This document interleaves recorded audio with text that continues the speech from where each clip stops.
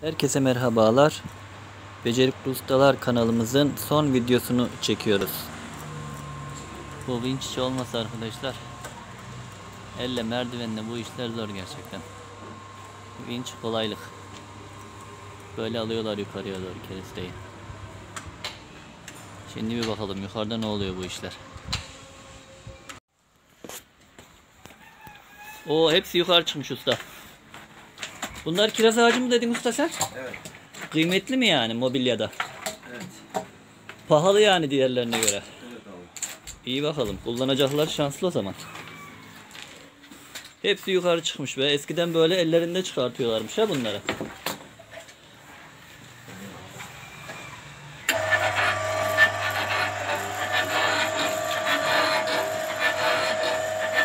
Evet vincimizi tekrar sarıyoruz. Yeni bir kullanıma hazır olması için.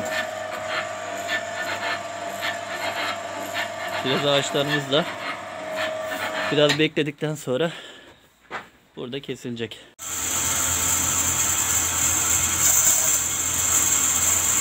Önce kontrol ediyoruz.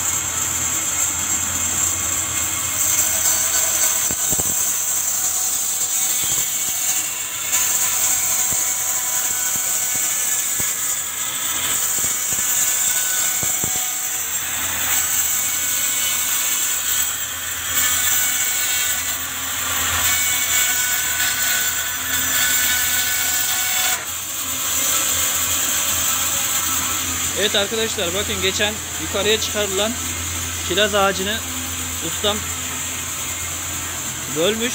Şu an kurumaya bırakmış. Bunlar da papatya çay setinin iskeletleri. Bu da bir berjer koltuğun iskeleti. Burası iskelethane. Bu da zımpara makinesi. Ee, boya yapılması gereken parçaların önce zımparadan geçirilmesi gerekiyor. Daha sonra boya yapılması gerekiyor. Ustam zımparasını da yine kendisi yapıyor. Çay, çay setinin teklisi galiba bu değil mi? Şimdi kolunu yapıyor ha?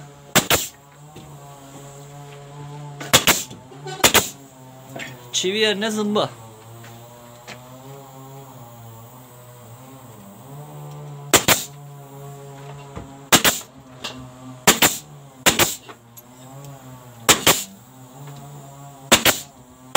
Ağaçlar gürgen ağacı mı ustam. Evet abi. Sağlam değil mi? Evet.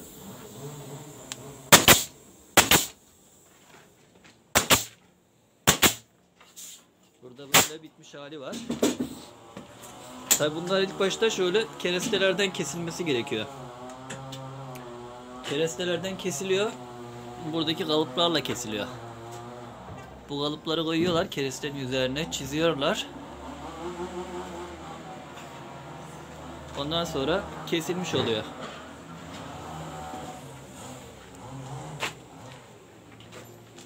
Kesildikten sonra böyle kutuların içerisine konuyor. Ondan sonra lazım olan alıyor. Tabi bu, bunlara ben bilmiyorum hangisi ne diye. Evet ustamız süngerlerini kendisi kesiyor. Makinesini de kendisi yapmış. Ustam bu ne makinesi normalde? Palet zımpara. Palet zımpara. Ha, Şerit fizarın yan haline yaptık. evet. Yani bu ihtiyaç oldu değil mi? İstediğimiz- dilimlerde kesiyoruz abi. Evet çok güzel. Orijinal bir makine olmuş ya. Altının suntası böyle O da iniyor çıkıyor. Ha, yüksekliğini kendin ayarlayabiliyorsun yani. Evet. Tebrik ediyorum ustacığım. Maşallah diyelim nazar olmasın yani. Ne demek abi? Evet ustamız şimdi sünger kesme makinesinde süngerini kesecek. Bu makinayı da kendisi yapmış ayrıca. Eskiden zımpara makinesinden çevirmeymiş. Süngeri kalınlığına göre kesiyor. Tabi karşısından birinin de ona yardımcı olması gerekiyor. Bu seferlik ben yardımcı oluyorum.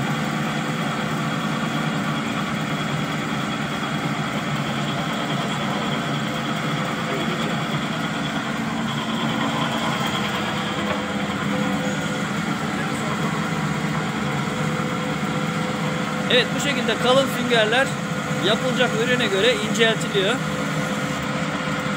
Ve kullanıma hazır hale geliyor. Ustanın sünger kesme makinesi. Kendisi yapmış. Tebrik ediyoruz ustayı. Oo bir daha. İnceliği bir- biraz daha incelecek.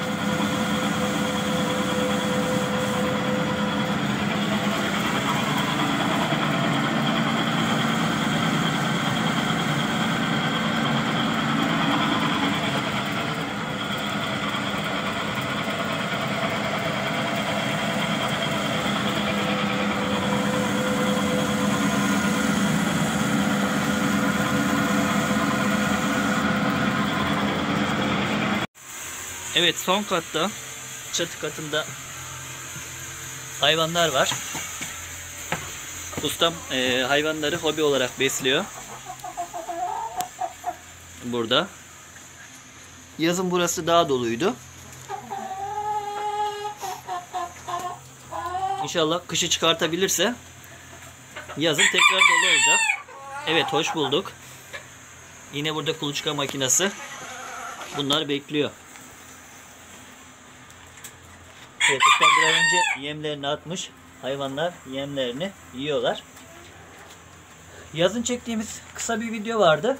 Kuluçka makinesinin içerisinde yumurtalar falan da vardı. Ee, o videoyu e, videomuzun sonuna ekleyeceğim. Sonrasında da videomuz bitmiş olacak.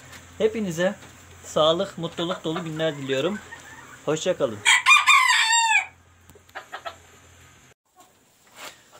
Jinepiklerimizin yemini attı ustamız.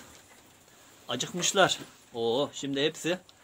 Ne yaz ustam? Ne attın sen? Kuzu buza. Kuzu kuzağı. Evet. Valla biri üstüne çıktı inmiyor. Ama diğerleri değil. Diş dövüş.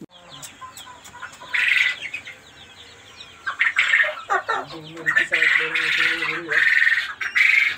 Ondan sonra vuruyorlar. Allah Allah. Alıyorum ondan sonra oraya.